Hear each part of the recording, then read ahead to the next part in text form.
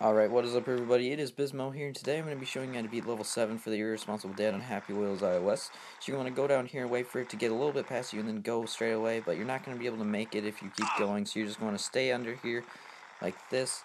Not like that, because my head almost snapped, but now you're going to go, you're fine now, now you can just hit the speed, get as much speed as possible, hit up that thingy, go across, and go, go, go, power. Yeah, yeah. and now you're gonna go up here like this and hit this that thing. And you're gonna build up some speed. And you're gonna go across this jump. Now we want to get as much speed. Wait no that's not this part. Never mind. Now you just want to stay still. This is gonna launch you up like this.